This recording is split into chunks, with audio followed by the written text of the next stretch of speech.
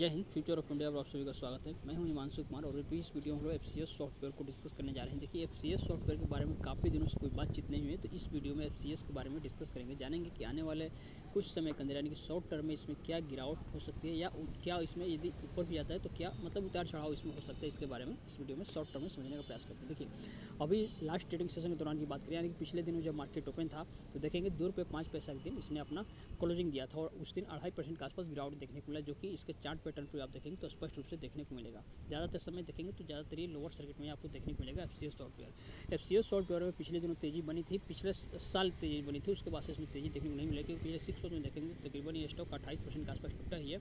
वहीं पिछले एक मंथ में भी कुछ नहीं चढ़ा एक मंथ में ग्राफ में एकदम स्पष्ट रूप से आप देख सकते हैं कितना तेज़ी से इस कंपनी का प्राइस नीचे की तरफ़ आया है।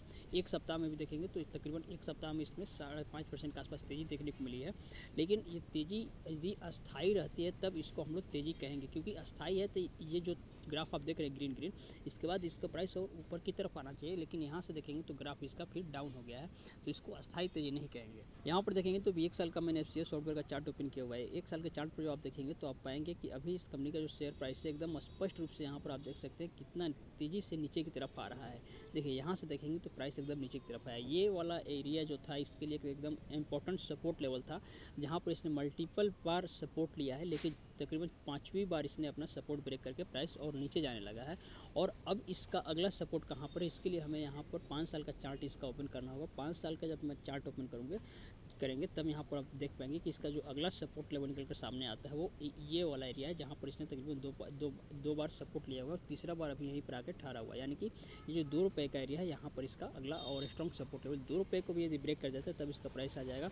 इस लेवल के आसपास, यानी कि जो एक रुपये के आसपास यहाँ पर इसका प्राइस आ जाएगा। देखिए अभी स्पष्ट रूप से दिख रहा है कि प्राइस नीचे आ रहा है और अभी दो रुपये पर है और दो रुपये से नीचे आएगा तो इसका प्राइस आ जाएगा एक रुपये के आसपास। अब आपके ऊपर डिपेंड करता है कि निकलना चाहते हैं, दो रुपये पर निकलिए या उसके और इंतज़ार करेंगे तो फिर आपको एक रुपये पर निकलना निकलना होगा।